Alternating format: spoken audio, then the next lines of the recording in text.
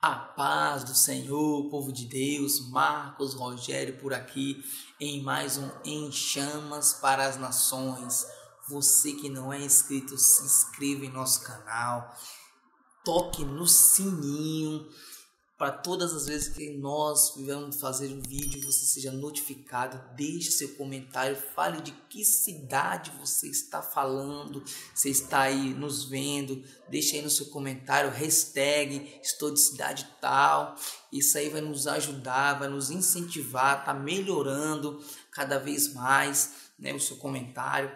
E nós estamos numa série de vídeos sobre doutrinas certas, doutrinas erradas, como identificá-las. Nós já falamos sobre a doutrina egípcia, falamos sobre a doutrina babilônica, falamos sobre a doutrina de Sodoma e Gomorra. Hoje vamos falar sobre a doutrina romana.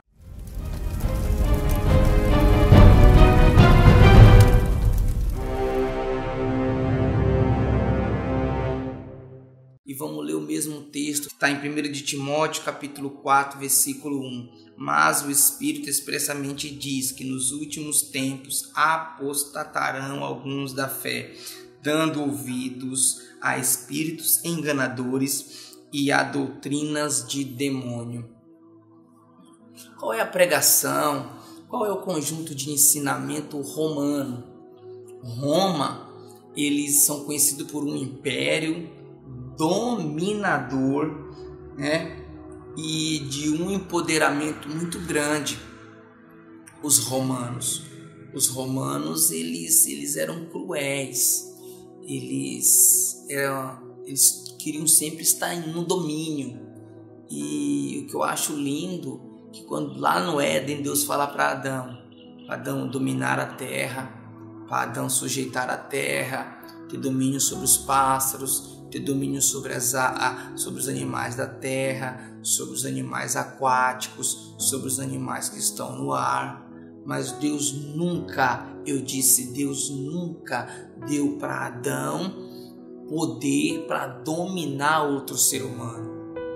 Essa doutrina é a doutrina do céu. Você pode dominar as coisas, você pode dominar toda a criação, exceto dominar outra pessoa. E qual é a doutrina de, de Roma?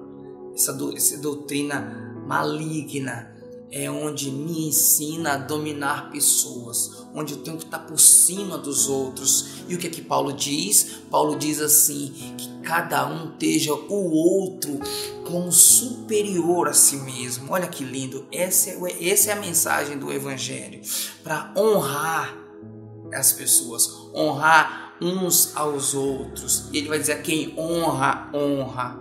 E eu acho lindo isso aí, porque qual é a mensagem do Evangelho?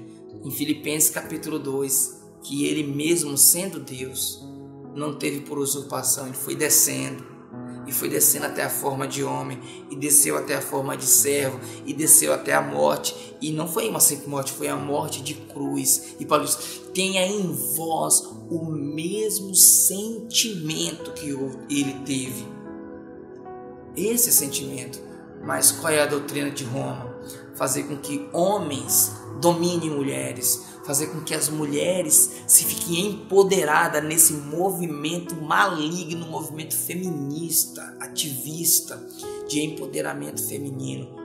É um demônio que vai com o machado na mão abrindo o caminho.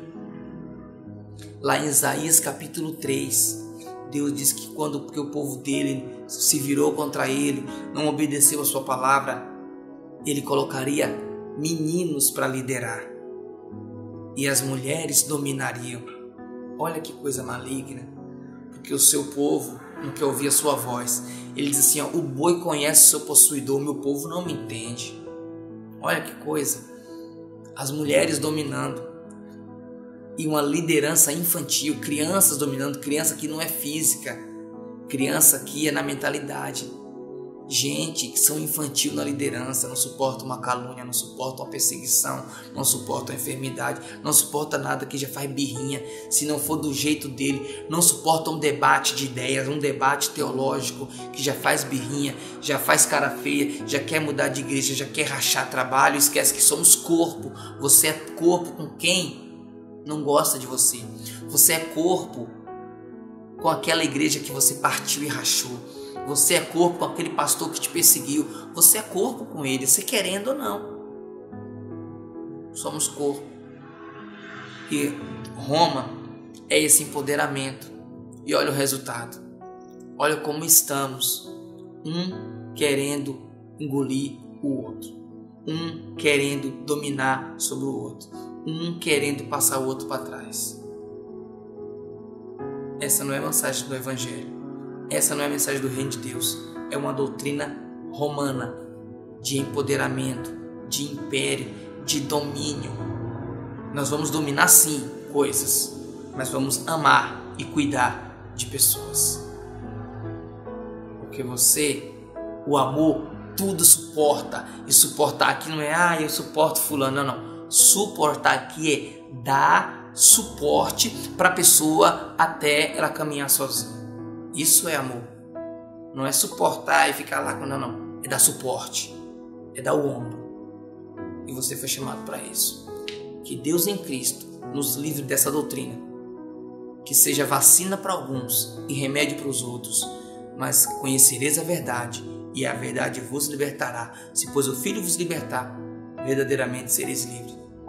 Fico essa palavra, que Deus em Cristo vos abençoe. E não se esqueça, você nasceu para estar em chamas para as nações.